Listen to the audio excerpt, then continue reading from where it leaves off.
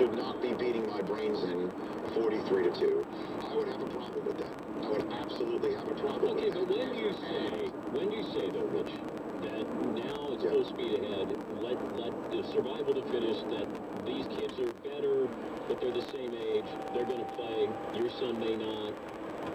When do you do that?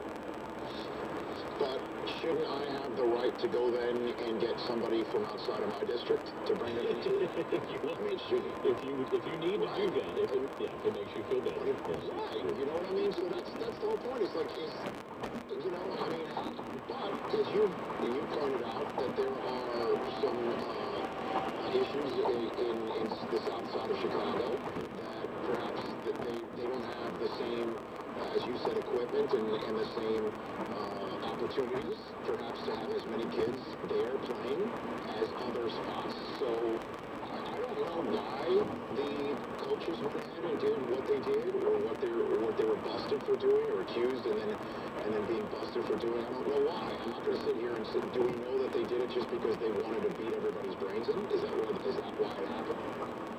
I don't know what their logic was, and, uh, you know, if they would assert that, but they didn't. Did they push the boundaries literally because they needed to, or because they didn't think they would get caught?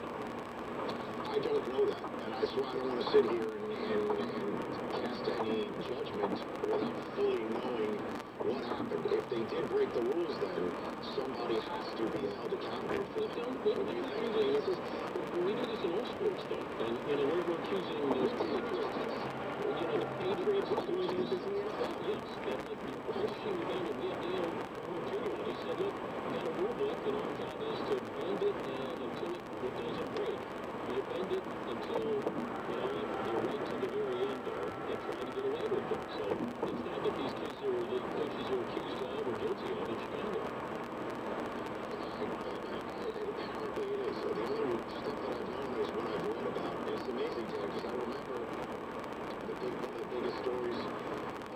was and moving were stealing it.